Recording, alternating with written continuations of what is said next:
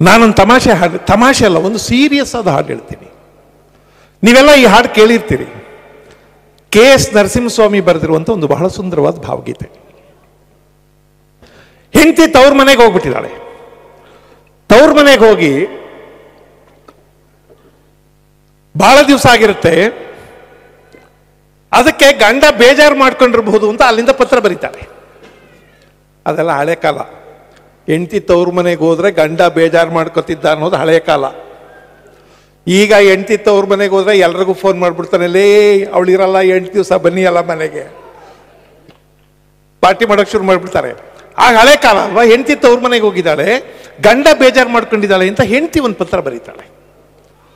ನರಸಿಂಹಸ್ವಾಮಿಯವರು ಬಹಳ ಸುಂದರವಾದ ಹಾಡದು. ನೀವು ಕೇಳಿರ್ತೀರಿ.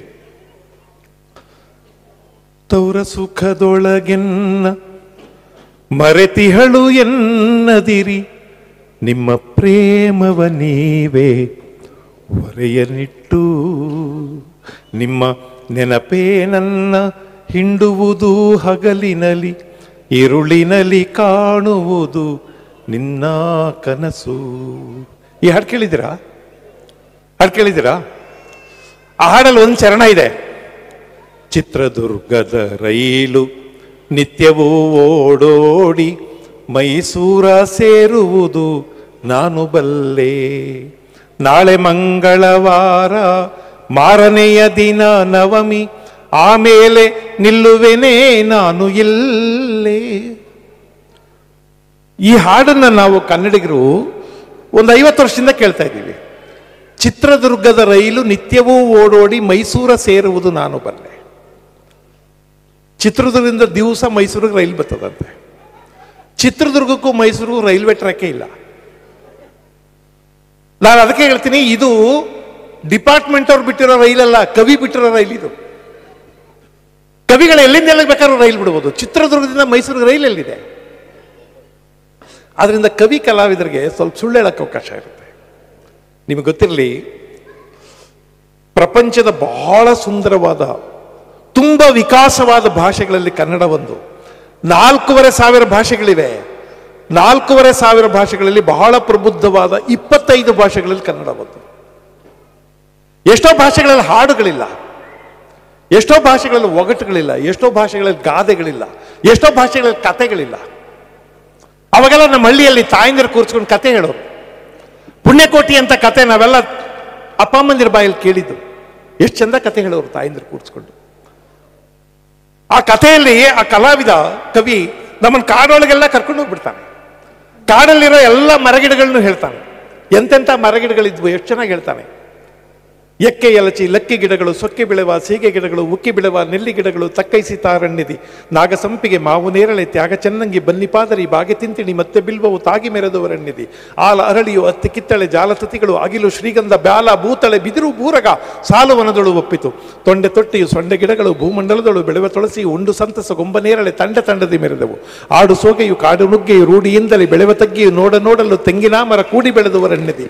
ಮೊಲ್ಲೆ ಮಲ್ಲಿಗೆ ಮುಗುಳು ಸಂಪಿಗೆ ಚೆಲ್ವಜಾಜಿಯು ಸುರಗಿ ಸುರವನ್ನೇ ಎಲ್ಲಿ ನೋಡಲು ದವನದಾವನ ಅಲ್ಲಿ ಮೆರೆದುವರನ್ನಿಧಿ ನಿಂಬೆ ನೇರಳೆ ಹಲಸು ಬೇಲವು ಅಂಬರಕ್ಕೆ, ಹರಿವ ಅಡಕೆಯು ತುಂಬಿ ತುಳುಕುವ ತೆಂಗಿನ ಮರ ಸಂಭ್ರಮಾದಳು ಇದ್ದವು. ಎಷ್ಟು ಮರ ಗಿಡ ನೋಡಿ?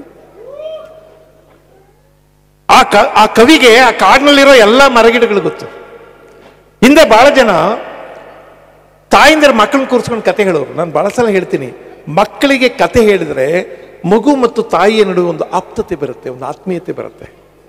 ಕತೆ ಹೇಳುವಾಗ ತಾಯಿಯ ಮುಖದಲ್ಲಿ ಆಗುವ ಎಲ್ಲ ಭಾವನೆಯ ಬದಲಾವಣೆಗಳನ್ನು ಮಗು ಮಗು ನೋಡಬೇಕು. ತಾಯಿ ಮುಖದಲ್ಲಿ ಬರುವ ಪ್ರತಿ ರೇಖೆಗಳನ್ನು ಮಗು ನೋಡಬೇಕು. ನಾನು ಅದಕ್ಕೆ ಭಾಳ ಸಲ ಹೇಳೋದು, ಮಕ್ಕಳನ್ನ ನಿಮ್ಮ ಮೈ ಮೇಲೆ ಬೆಳೆಸಿ ಅಂತ. ಅವಕ್ಕೊಂದು ಎಮೋಷನಲ್ ಅಟ್ಯಾಚ್ಮೆಂಟ್ ಬರಬೇಕಾದ್ರೆ ಮಕ್ಕಳನ್ನ ಮೈ ಮೇಲೆ ಬೆಳೆಸಿ ಅಂತ. ನಿಮ್ಮಲ್ಲಿ ಇಲ್ವೇನಪ್ಪ ಅದು? ಭಾಳ ಕಡೆ ಇದೆ, ಈಗ ನಮ್ಮ ಊರಲ್ಲೂ ಶುರುವಾಗಿದೆ. ಮಕ್ಕಳನ್ನ ಗಾಡಿಗೆ ಹಾಕೊಂಡು ತಳ್ಕೊಂಡು ಹೋಯ್ತಾರೆ. ಸ್ಟ್ರೋಲರ್ನಲ್ಲಿ ಇಟ್ಕೊಂಡು ಹೋಯ್ತಾರಲ್ಲ? ನನಗೆ ಅವ್ನು ನೋಡಿದ್ರೆ ಮಕ್ಕಳು ಅಂತಲೇ ಅನ್ಸಲ್ಲ. ನಮ್ಮಲ್ಲಿ ಬಸ್ ಸ್ಟ್ಯಾಂಡ್ ಹತ್ರ, ಸ್ವಾಮಿ, ತಂದೆ, ಅಂತ ಕೂತ್ಕೊಂಡು, ಹಂಗೆ ಕಾಣಿಸ್ತವೆ. ಮಕ್ಕಳನ್ನ ಮೈ ಮೇಲೆ ಇಟ್ಕೊಂಡು ಬೆಳೆಸಿದ್ರೆ ನಮ್ಮ ಮುಖದ ಗೆರೆಗಳೆಲ್ಲ, ನಮ್ಮ ಮೈ ವಾಸನೆ, ನಮ್ಮ ಹೃದಯದ ಬಡಿತ ಮಕ್ಕಳಿಗೆ ಕೇಳಿಸುತ್ತೆ. ನಮ್ಮ ಊರ್ಲೊಂದು ಅಜ್ಜಿ ಕತೆ ಹೇಳೋದು. ಭಾಳ ಓದಿಲ್ಲ ಅವಳು ಅನಕ್ಷರಸ್ತೆ ಆದ್ರೆ ಕತೆ ಹೇಳೋಳು ನೋಡ್ಬೇಕು, ಎಂಥ ಸುಂದರವಾದ ಕತೆ ಹೇಳೋಳು ಅಂತ. ಆ ಕಥೆಯಲ್ಲಿ ಒಂದು ವೈಭವದ ಮದುವೆ ನಡೆಯುತ್ತೆ. ಮದುವೆ ಎಷ್ಟು ಚೆನ್ನಾಗಿ ನಡೆಯಿತು ಅಂತ ಆ ಅಜ್ಜಿ ಮಾತಲ್ಲಿ ಕಟ್ತಾಳೆ. ಎಷ್ಟು ಚೆನ್ನಾಗಿ ಹೇಳ್ತಾಳೆ ಅಂದ್ರೆ, ಆಗಲೀಗ ವಜ್ರಕುಮಾರಗೂ ಮಾಣಿಕ್ಯ ಮಂಜರಿಗೂ ಮದುವೆ ಮಾಡಿದ್ರಂತೆ. ಎಂಥ ಹೆಸರಿಟ್ಟವಳು ನೋಡಿ. ವಜ್ರಕುಮಾರ ಮಾಣಿಕ್ಯ ಮಂಜರಿ ಅಂತ. ಆಗಲೀಗ ವಜ್ರಕುಮಾರಂಗೂ ಮಾಣಿಕ್ಯ ಮಂಜರಿಗೂ ಮದುವೆ ಮಾಡಿದ್ರಂತೆ. ಮದುವೆ ಅಂದ್ರೆ ಅಂತಿಂತ ಮದುವೆ ಅಲ್ಲ. ಈ ಭೂಲೋಕದಲ್ಲಿ ಹಿಂದೆ ನಡೆದಿಲ್ಲ, ಮುಂದೆ ನಡೆಯೋದಿಲ್ಲ ಇವತ್ತು ನಡೀತಾ ಇಲ್ಲ ಅಂತ ಮದುವೆ. ಭೂಮಿನೇ ಹಸೆ ಮಾಡಿ, ಆಕಾಶನೇ ಚಪ್ರ ಮಾಡಿ, ವಜ್ರದ ಒಂದು ಭತ್ತ ಕೊಟ್ಟು, ಪನ್ನೀರಲ್ಲಿ ಪಟ್ಟಣ ತಾರಿಸಿ, ಮನೆ ಮನೆಗೆಲ್ಲ ಮುತ್ತೊಂದು ತೋರಣ ಕಟ್ಟಿಸಿ ಮೂಲ ಮೂಲಕ್ಕೆಲ್ಲ ಮಾಣಿಕ್ಯದ ಗೊಂಡೆ ಕಟ್ಟಿಸಿ ಬೀದಿ ಬೀದಿಗೆಲ್ಲ ಬೆಳ್ಳಿ ನಡುಮಡಿ ಹಾಸಿ ಅಂಗಂಗಳಕ್ಕೆಲ್ಲ ಬಂಗಾರ ರಂಗೋಲಿ ಬಿಡಿಸಿ ಆನೆ ಗಾತ್ರ ಅರ್ಶನ, ಕುದುರೆ ಗಾತ್ರ, ಕುಂಕುಮ, ನಂದಿ ಗಾತ್ರ ಗಂಧ- ಲಕ್ಷಪಡಿ ಯಕ್ಷತೆ ತರಿಸಿ ಬಂದವ್ರಿಗೆ ಪಲ್ಲಕ್ಕಿ ಕಳಿಸಿ ಬರದೈದವ್ರ ಕಾಗದ ಬರೆಸಿ ಮುತ್ತೈದರ ಕೈಲಿ ಮುತ್ತಿನಾರ್ತಿ ಬೆಳಗಿಸಿ ಸುಮಂಗಲ ಕೈಲಿ ಶೋಭಾನೆ ಆಡಿಸಿ ಕನ್ನಡ ಕೈಲಿ ಕಳಸ ಕನ್ನಡಿ ಕೊಟ್ಟು ಮೇಳದವ್ರ ಕೈಲಿ ನಾಟ್ಯ ನಾಡಿಸಿ ದೇವಲೋಕದಿಂದ ಕಾಮಧೇನು ಕರೆದ್ರು ಕ್ಷೀರ ತಂದು ಕೈದಾರೆ ಹೋದು ನವರತ್ನದ ಹಸೆಮಣೆ ಮೇಲೆ ಭೂಮ್ತಾಯಿ ಅಂತ ಹೆಣ್ಣು ಭೂಮ್ ಗಣ್ಣಿಲ್ಸಿ ಬಂದ್ ಬಂದ್ ಬಂಧು ಬಳಗಕ್ಕೆಲ್ಲ ಬೇಕು ಬೇಕಾದ ಉಡುಗೆ ಬಿಡಿಸಿ ತೊಡುಗೆ ತೊಡಿಸಿ, ಕೊಡುಗೆ ಕೊಡಿಸಿ, ಇಡೀ ಭೂಲೋಕವಾದ ಭೂಲೋಕವೆಲ್ಲ ಬಾಯ ಮೇಲೆ ಬೆಳ್ಳಿಟ್ಕೊಳಂಗ ಬಬ್ಬ ಅನ್ನೋ ಮದುವೆ ಮಾಡಿರುತ್ತೆ ಒಬ್ಬ ಅನಕ್ಷರಸ್ಥೆ ಹೆಬ್ಬೆಟ್ಟಿನಮ್ಮ ಎಷ್ಟು ಅದ್ಭುತವಾಗಿ ಉತ್ತರ ಇದು. ಕತೆ ಹೇಳ್ತಾಳೆ. ನಿಮಗೆ ಗೊತ್ತಿರಲಿ, ಗಾಂಧಿಗೆ ಒಂದ್ಸಲ ಚರ್ಚಿಲ್ ಚುಡಾಯಿಸ್ತಾವೆ ಸ್ವಾತಂತ್ರ್ಯ ಹೋರಾಟ ಮಾಡ್ತಿದ್ದಾಗ ಗಾಂಧಿಗೆ ಚರ್ಚಿಲ್ ಒಂದ್ಸಲ ಚುಡಾಯಿಸ್ತಾನೆ. ಗಾಂಧಿ, ಸ್ವಾತಂತ್ರ್ಯ ಬೇಕನೆಯ ನಿಮ್ಮ ಯೋಗ್ಯತೆಗೆ? ಸ್ವಾತಂತ್ರ್ಯ ಬೇಕಾ? ನಿಮ್ಮ ದೇಶದಲ್ಲಿ ಶೇಕಡ ತೊಂಬತ್ತು ಜನಕ್ಕೆ you have not been able to give them literacy at least I am not talking about education you have not been able to give literacy to ninety percent of your population do you really deserve independence ಅಂತ ಕೇಳ್ಬಿಡ್ತಾನೆ ನನ್ನ ಮಾತನ್ನು serious ಆಗಿ ತಗೊಳ್ಳಿ, ಯೋಚನೆ ಮಾಡಿ. ಗಾಂಧಿ ಒಂದು ಮಾತು ಹೇಳ್ತಾರೆ. ಮಿಸ್ಟರ್ ಚರ್ಚಿಲ್ ವಿದ್ಯೆ ಅನ್ನೋದು ಅಕ್ಷರದಲ್ಲಿ ಮಾತ್ರ ಇದೆ ಅನ್ನೋದು ಪಶ್ಚಿಮ ಜಗತ್ತಿನ ಮೌಢ್ಯ ಅಂತಾರೆ.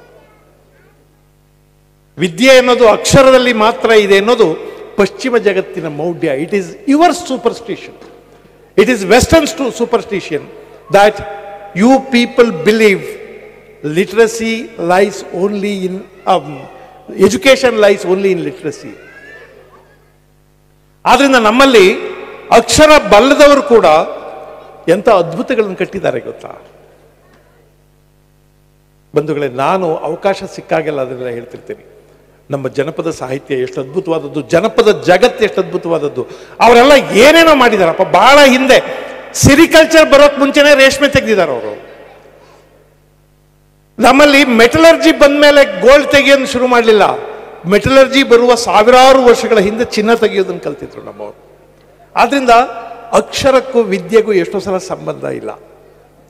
ನಾವು ಅಕ್ಷರ ಕಲ್ತಿದ್ದು ಮಾತ್ರ ವಿದ್ಯೆ ಅಂತ ಅನ್ಕೋತೀವಿ. ಎಷ್ಟು ಚಂದ ಮಾತಾಡ್ತಾರೆ ಹಳ್ಳಿ ಜನ. ಆದರೆ ಒಂದು ಮಾತು ಹೇಳ್ಬಿಡ್ತೀನಿ, ಎಲ್ಲ ಮಾತಿಗೂ ಅರ್ಥ ಇರುತ್ತೆ ಅಂತ ಅನ್ಕೋಬೇಡಿ. ಅರ್ಥ ನಾವು ಕೊಡೋದಷ್ಟೇ. Not every word has a definite meaning ಎಲ್ಲ ಶಬ್ದಗಳಿಗೂ ಒಂದಿದೆ ಅರ್ಥ ಇದೆ ಅಂತ ಅನ್ಕೋಬೇಡಿ. ಸುಮ್ಮನೆ ಕೆಲವು ಮಾತುಗಳಿರ್ತವೆ. ಅವಕ್ಕೇನು ಅರ್ಥ ಇರಲ್ಲ. ನಾವು ಮಾತಾಡುವಾಗ ಸುಮ್ಮನೆ ಮಾತಾಡ್ತೀವಲ್ಲ, ಈಗ ಒಂದು ಕೆಲಸ ಮಾಡಿ ಅಂತಾರೆ. ಏನು ಕೆಲಸ ಮಾಡ್ಬೇಕಲ್ಲಿ? ಒಂದು ಕೆಲಸ ಅಂದ್ರೆ ಹೇಳಿ ಸರ್, ಏನು ಕೆಲಸ ಅಂತ ಕೇಳಂಗಿಲ್ಲ. ಅವ್ನು ಸುಮ್ಮನೆ ಮಾತಾಡ್ತಾನೆ. ಸರ್, ನಾನು ಇಲ್ಲಿಂದ, ನಾನು ಯಾವುದು ಡ್ರೀಮ್ ಸಿಟಿ ಹೋಟೆಲ್ ನಮ್ಮ ಕಿರಣ್ ಗೌಡ್ ಹೋಟೆಲ್ ಉಳ್ಕೊಂಡಿದ್ದೀನಿ. ಅಲ್ಲಿಗೆ ಹೋಗ್ಬೇಕು, ನಂಗೆ ದಾರಿ ಗೊತ್ತಿಲ್ಲ ಅಂತ ಇಟ್ಕೊಳ್ಳಿ. ಯಾರನ್ನೋ ಕೇಳ್ತೀನಿ, ನಾ ಸರ್, ಇದು ಡ್ರೀಮ್ ಸಿಟಿ ಹೋಟ್ಲಿಗೆ ಹೋಗ್ಬೇಕು, ಎಲ್ಲಿ ಹೋಗ್ಬೇಕು ಡ್ರೀಮ್ ಸಿಟಿ ಹೋಟೆಲ್ಲಾ ಹಂಗಾರೆ ನೀವೊಂದು ಕೆಲಸ ಮಾಡಿ ಅಂತಾನೆ. ನಾನು ಅಲ್ಲಿಗೆ ಹೋಗ್ಬೇಕು, ನಾನು ಕೆಲಸ ಮಾಡೋಕ್ಕೆ ಬಂದಿಲ್ಲ. ಕೆಲಸ ಮಾಡೋಕ್ಕೆ ಬಂದಿರೋರು ನೀವು, ನಾನೇನು ಕೆಲಸ ಮಾಡಲಿ? ಏ, ನಾನು ಕೆಲಸ ಮಾಡೋಕ್ಕೆ ಬಂದಿಲ್ಲ ಸರ್. ನಾವು ಹೋಟೆಲ್ಗೆ ಹೋಗ್ಬೇಕು, ಹೆಂಗೆ ಹೋಗ್ಲಿ? ಹೌದಾ?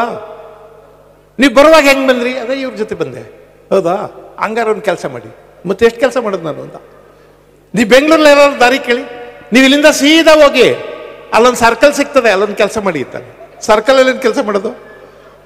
ಆಮೇಲೆ ಅಲ್ಲಿಂದ ಹಂಗೆ ಬಲಕ್ಕೆ ತಿರ್ಕೊಳ್ಳಿ ಬಲಕ್ಕೆ ತಿರ್ಕೊಂಡು ಅಲ್ಲೊಂದು ಸಣ್ಣದೊಂದು ಹೋಟೆಲ್ ಸಿಗುತ್ತೆ. ಅಲ್ಲೊಂದು ಕೆಲಸ ಮಾಡಿದ್ದು ಆ ಸಣ್ಣದಲ್ಲಿ ಹೋಟ್ಲಲ್ಲಿ ಒಂಚೂರು ಕೆಲಸ ಮಾಡಬೇಕು. ಕೆಲಸ ಮಾಡಿ ಅಂದರೆ ಕೆಲಸ ಮಾಡಿ ಅಂತಲ್ಲ. ಸುಮ್ಮನೆ ಮಾತಾಡ್ತಾರೆ ಅಷ್ಟೇ. ಇನ್ನೊಂದು ಮಾತಿದೆ, ಲೆಕ್ಕ ಹಾಕು ಅಂತಾರೆ. ಲೆಕ್ಕ ಹಾಕು ಅಂತಾರೆ. ನೀವೇನು ಲೆಕ್ಕ ಹಾಕ್ಬೇಕಾಗಿಲ್ಲ. ಸುಮ್ಮನೆ ಲೆಕ್ಕ ಹಾಕು ಅಂತಾರೆ ಅಷ್ಟೇ. ಸಾರ್, ನಾನು ಚಿಕ್ಕವನಾಗಿದ್ದಾಗ, ಅಯ್ಯ ಬಿಡಿ ಸರ್, ಇವಾಗ ಆಗಲ್ಲ. ಚಿಕ್ಕವನಾಗಿದ್ದಾಗ ಕೂತ್ಬಿಟ್ರೆ, ತಟ್ಟೆ ಇಡ್ಲಿ ತಟ್ಟೆ ಇಡ್ಲಿ ಹದಿಮೂರು ತಿಂತಿದ್ದೆ ಸರ್. ಹದಿಮೂರು ತಟ್ಟೆ ಇಡ್ಲಿ ತಿಂತಿದ್ದೆ. ಲೆಕ್ಕ ಹಾಕಿ. ಹದಿಮೂರು ಅಂತ ಅವನೇ ಹೇಳಿದ್ನಲ್ಲ, ನೀವಿನ್ನೇನು ಲೆಕ್ಕ ಹಾಕೋದನ್ನ ನನಗೆ ಅವ್ನು ಯಾರೋ ನನ್ನ ಫ್ರೆಂಡ್ ಸಿಕ್ಕಿದ್ದ ನಮ್ಮ ಕ್ಲಾಸ್ಮೇಟ್ ಒಬ್ಳು ರಾಜೇಶ್ವರಿ ಅಂತ ಹುಡುಗಿದ್ಲು, ಸಣ್ಣಕ್ಕಿದ್ಲು. ಸರ್ ನಮ್ಮ ರಾಜೇಶ್ವರಿ ನೋಡಿದಿರ ನಮ್ಮ ಕ್ಲಾಸ್ಮೇಟು ಅಲ್ಲ ಈಚೆಗೆ ನೋಡಿಲ್ಲಪ್ಪ ಸಣ್ಣಕ್ಕಿದ್ಲು ಅಲ್ವಾ ಸರ್ ಹ್ಞೂ, ಸಣ್ಣಕ್ಕಿದ್ಲು. ಈಗ ನೋಡಿ ಒಂದೂವರೆ ಕ್ವಿಂಟಲ್ ಆಗವಳೆ ಅಲ್ಲ ನಾನು ಆಗಲಿ ಬಿಡಪ್ಪ, ಏನೋ ಹೆಣ್ಮಕ್ಳು ಸುಖವಾಗಿದ್ರೆ ದಪ್ಪ ಆಯ್ತಾರೆ, ನಿನಗೇನು ಕಷ್ಟ? ಅಂತೆ ನಾನು. ಅದಕ್ಕೆ ಅವನು ಹೇಳ್ದ, ಅಲ್ಲ ಸರ್ ನಮ್ಮ ಜೊತೆ ಓದ್ತಿದ್ದಾಗ ಮೂವತ್ತು ಕೆ ಜಿ ಇದ್ಲು ಅವಳು, ಇಲ್ವ ಅವಳು? ಒಂದೂವರೆ ಕ್ವಿಂಟಾಲ್ ಆಗವಳೆ ಈ ಮೂವತ್ತು ವರ್ಷದಲ್ಲಿ ಅಂದರೆ ಲೆಕ್ಕ ಹಾಕಿ. ನಾನೇನು ಲೆಕ್ಕ ಹಾಕ್ಲಿ ಅಂತ ಈಗ. ಈಗ ಅವಳು ಆವ್ರೇಜ್ ತಿಂಗಳಿಗೆ ಎಷ್ಟು ದಪ್ಪ ಆಯ್ತಾಳೆ, ವರ್ಷಕ್ಕೆ ಎಷ್ಟು ದಪ್ಪ ಆಗ್ತಾಳೆ, ಲೆಕ್ಕ ಹಾಕಕ್ಕೇನಿದೆ? ಲೆಕ್ಕ ಹಾಕಿ ಅಂತಾರೆ. ಇನ್ನೊಂದು ಮಾತಿದೆ. ಈಗ ತಗೊಳ್ಳಿ ಅಂತಾರೆ. ತಗೊಳ್ಳಿ ಅಂದ್ರೆ ಅವ್ರು ಕೊಡೋದು ನಾವು ತಗೊಳ್ಳೋದಲ್ಲ ಈಗ ನಮ್ಮ ಬೆಂಗಳೂರನ್ನೇ ತಗೊಳ್ಳಿ. ಕೊಡಿ. ನಮ್ಮೂರು ಬಸ್ ಸ್ಟ್ಯಾಂಡ್ನೇ ತಗೊಳ್ಳಿ. ಏನು ಮಾರಕ್ಕಿಟ್ಟವ್ರ ಅದನ್ನ ಈ ತಗೊಳ್ಳಿ ಅಂತಾರಲ್ಲ, ತಗೊಳ್ಳಿ ಅಂದ್ರೆ ಯಾರೋ ತಗೊಂಡೋಗಿ ಅಂತ ಅಲ್ಲ ನಾನು ಎಲ್ಲ ಭಾಷಣ ಮಾಡ್ತಾ ಇದ್ದೆ. ಮಹನೀಯರೇ ಮತ್ತು ಮಾತೆಯರೇ ಅಂದೆ. ಅವನ್ಯಾರೋ ಎದ್ದು ನಿಂತ್ಕೊಬಿಟ್ಟು ನಿಮ್ದೇನು ಸ್ಪೆಷಲ್ಲು ಮಹನೀಯರೇ ಮತ್ತು ಮಹಿಳೆಯರೇ ಅನ್ನೋದು, ಅದೇನು ಮಾತೆಯರು ಅಂತೀರಿ ಅನ್ನಲ್ಲ ನಾವು ಹೆಣ್ಮಕ್ಳನ್ನ ಮಾತೆ ಅನ್ನೋದು ಯಾಕೆ ಗೊತ್ತಾ ಅಂದೆ ನಾನು. ಹೇಳಿ ಸರ್, ಹೆಣ್ಮಕ್ಳನ್ನ ಮಾತೆ ಅಂತ ಯಾಕಂತೀವಿ ಅಂದರೆ, ಅವ್ರ ಕೂತ್ಕಡೆ ಎಲ್ಲ ಬರೀ ಮಾತೆ ನಾನು ಏನೋ ಮುಗಿಸ್ಕೊಂಡು ಹೋಗ್ತಾ ಇದ್ದೀನಿ, ಅವ್ನು ಯಾರೋ ಒಬ್ಬ ಬಂದ. ಸಾರ್, ನಿಮ್ಮದು ಬೇರೆ ಭಾಷಣ ಎಲ್ಲ ಬಿಸಾಕಿ ಒಂದು ಮಾತು ಮಾತ್ರ ಕರೆಕ್ಟಾಗಿ ಹೇಳಿದ್ರಿ. ಅಂದರೆ ಬೇರೆದೆಲ್ಲ ಬಿಸಾಕದಂತೆ, ಎಲ್ಲ ವೇಸ್ಟ್ ಅಂತ ನೀವು ಬೇರೆ ಮಾತೆಲ್ಲ ಬಿಡಿ, ಒಂದು ಮಾತು ಮಾತ್ರ ಕರೆಕ್ಟಾಗಿ ಹೇಳಿದ್ರಿ. ಒಂದೇ ಮಾತಂತೆ ಕರೆಕ್ಟಾಗಿ ಹೇಳಿರೋದು. ಅದ್ಯಾವ್ದಪ್ಪ ಕರೆಕ್ಟಾಗಿ ಹೇಳಿದ್ದು? ಈ ಹೆಣ್ಮಕ್ಳು ಕೂತ್ಕಡೆ ಎಲ್ಲ ಮಾತೇ ಅಂದ್ರಲ್ಲ ಸರ್ ಕರೆಕ್ಟು ಸರ್ ಅದು. ನಾನು ಇಲ್ಲ ಬಿಡಪ್ಪ ಸುಮ್ಮನೆ ತಮಾಷೆ ಹೇಳಿದ್ದು ಇಲ್ಲ ಸರ್, ತಮಾಷೆ ಅಲ್ಲ. ನೀವೆಲ್ಲರೂ ನೋಡಿ, railway station, bus stand, school, college, ಅಥವಾ ಯಾವುದೋ ಮದುವೆ ಮನೆ, ಹೆಣ್ಮಕ್ಳು ಬರೀ ಮಾತೇ ಸರ್. ಇಲ್ಲಪ್ಪ. ಸುಮ್ಮನೆ ನಾನು ತಮಾಷೆಗೆ ಹೇಳಿದ್ದು ಬಿಡಿ. ತಮಾಷೆಗಲ್ಲ ಸರ್, ಹೆಣ್ಮಕ್ಳು ಮಾತೇ ಸರ್. ಇಲ್ಲಪ್ಪ ಸುಮ್ಮನೆ ತಮಾಷೆಗೆ ಸರ್, ನಾನು ಹೆಂಡ್ತಿನೇ ತಗೊಳ್ಳಿ ಅಂದ ನಾನು ರೇ ಏನು ಮಾತಾಡ್ತಾ ಇದ್ದೀವಿ ಹೋಗು ನೀನು ಅಂದೆ ಅಲ್ಲ, ನಾನು ಹೆಂಡ್ತಿ ಅಂತಲ್ಲ, ನಮ್ಮ ಮನೆಗೆ ಯಾರನ್ನಾರ ತಗೊಳ್ಳಿ ಅಂತಾನೆ ಏನು ಮಾರಕ್ಕಿಟ್ಟವನು ಅವನು? ಮಾತಿಗೆ ಇದೇ ಅರ್ಥ ಅಂತಿರಲ್ಲ. ಇನ್ನೊಂದಿದೆ. ಈಗ ನೋಡಿ ಅಂತಾರೆ. ಈಗ ನೋಡಿ ಅಂದರೆ ಈಗಲೇ ನೋಡಿ ಅಂತಲ್ಲ ಅರ್ಥ. ಸುಮ್ಮನೆ ಮಾತಾಡೋಕೆ ಶುರು ಮಾಡೋದು ಇಂಗ್ಲೀಷ್ನಲ್ಲಿ ಸಿ ಅಂತಾರಲ್ಲ, ಹಂಗೆ ಕನ್ನಡದಲ್ಲಿ ನೋಡಿ ಅಂತಾರೆ. ನೋಡಿ ಅಂದರೆ ಎಲ್ಲಿ ನೋಡಬೇಕು ಸರ್ ಅಂತ ಕೇಳ್ಬಾರ್ದು. ನಮ್ಮಲ್ಲಿ ಮಾತಾಡುವಾಗ ಹೇಳ್ತಾರೆ, ಅಯ್ಯೋ, ಅಪ್ಪ ಮಗನಿಗೆ ಬೈತಿದ್ನಂತೆ. ದಡ್ಡನ ಮಗನೇ ಮೂವತ್ತೈದು ತಗೊಂಡು ಪಾಸ್ ಆಗೋಕ್ಕಾಗಿಲ್ಲ ನಿನ್ನ ಯೋಗ್ತಿಗೆ ಪಕ್ಕದ ಮನೆ ಹುಡುಗಿ ನೋಡು, ತೊಂಬತ್ತೆಂಟು ಮಾರ್ಕ್ಸ್ ತಗೊಂಡಿದ್ದಾಳೆ. ನೈಂಟಿ ಏಯ್ಟ್ ಪರ್ಸೆಂಟ್ ಸುಮ, ತಮಾಷೆನ ಅದು. ನೋಡವಳ ಅಂದ. ಈ ಹುಡುಗ ಹೇಳ್ದ ಅವಳು ನೋಡಿ ನೋಡೇ ಸುಮ್ಮನೆ ಫೇಲ್ ಆಗಿರೋದು ನಾನು. ನೋಡು ಅಂದ್ರೆ ಹೋಗಿ ನೋಡು ಅಂತ ಅಲ್ಲ ಅದ್ರ ಅರ್ಥ. ನೋಡು ಅಂದ್ರೆ ಟೇಕ್ ಇಟ್ ಅನ್ ಎಕ್ಸಾಂಪಲ್ ಅವಳು she score ninety eight percent ಅಂತ ಹೇಳ್ಬೇಕು.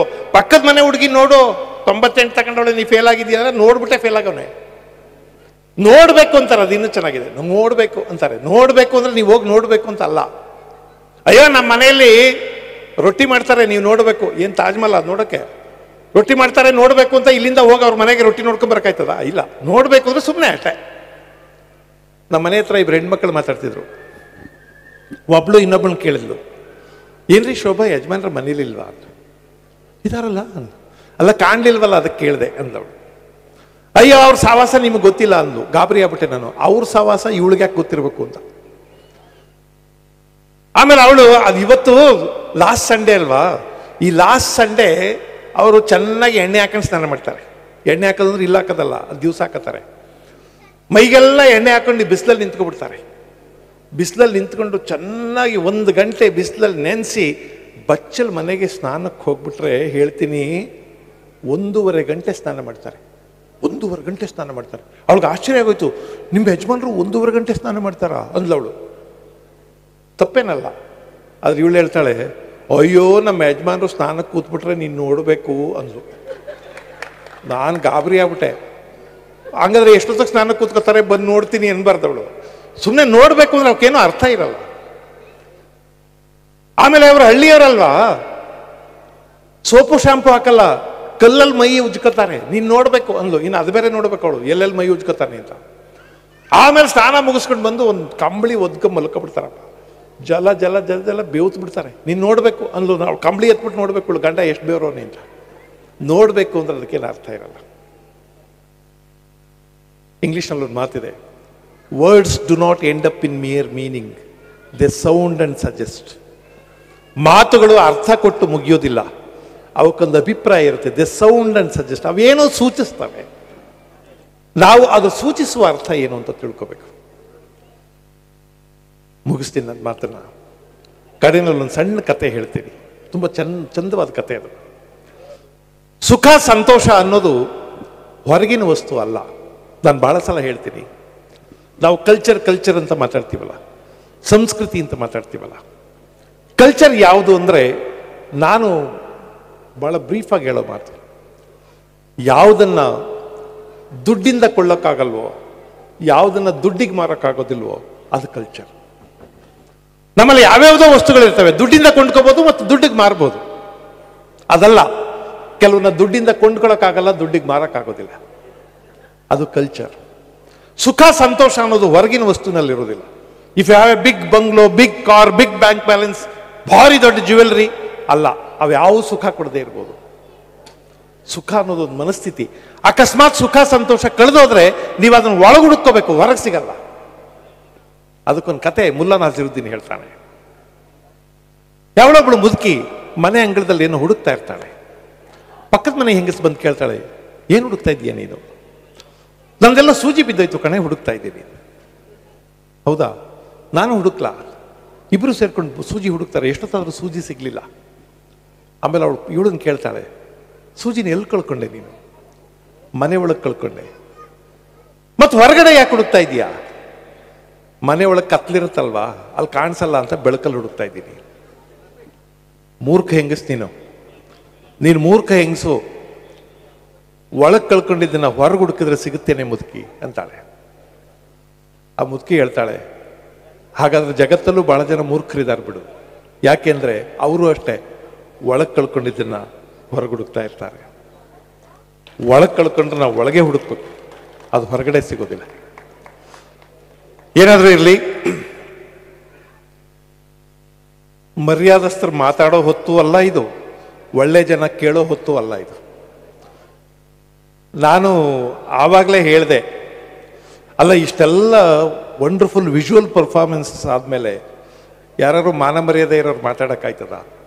ಅದಕ್ಕೆ ಪ್ರಸಿದ್ಧಿ ಹೇಳ್ದೆ, ಅದಕ್ಕೆ ಸರ್ ನಿಮ್ಮನ್ನು ಕರೆಸಿರೋದು, ಹೋಗಿ ಮಾತಾಡಿದ್ರು ಆದರೂ ಎಷ್ಟು ಜನ ಕೇಳಿದ್ದೀರಿ? ಎಲ್ರಿಗೂ ಒಳ್ಳೇದಾಗಲಿ. ಬೇಂದ್ರೆ ಒಂದು ಮಾತು ಹೇಳ್ತಿದ್ರು. ನಾನು ನಿಂತಷ್ಟು ನೆಲ ಧಾರವಾಡ ಅದು ನಾನು ನಿಂತಷ್ಟು ನೆಲ ಧಾರವಾಡ ಅಂತ. ಅದ್ಭುತವಾದ ಮಾತು. ನಿಮ್ಮ ಮನಸ್ಸಿನಲ್ಲೂ ಅದಿರಲಿ. ನೀವು ನಿಂತಷ್ಟು ನೆಲ ಕರ್ನಾಟಕ. ನೀವು ನಿಂತಷ್ಟು ನೆಲ ಭಾರತ. ನೀವೆಲ್ಲಿರ್ತೀರೋ ಕುವೆಂಪು ನೀ ಮೆಟ್ಟುವ ನೆಲ ಅದೇ ಕರ್ನಾಟಕ ಅಂತ ಹೇಳಿದ್ದು ಅದೇ ಅರ್ಥದಲ್ಲಿ. ನಾವೆಲ್ಲಿ ನಿಂತಿರ್ತೀವಿ, ಅಷ್ಟು ನೆಲ ನಮ್ಮೂರ್ದು, ಅಷ್ಟು ನೆಲ ನಮ್ಮದು. ಈಗ ನೀವು ಇಲ್ಲಿ ನಿಂತಿದ್ದೀರಿ, ಈ ನೆಲ ನಿಮ್ಮದು ನಮ್ಮದು ಇಲ್ಲೊಂದು ವಾತಾವರಣ ಇದೆ, ಇದು ಕನ್ನಡದ್ದು, ಕರ್ನಾಟಕದ್ದು. ನಮಸ್ಕಾರ. Thank you very much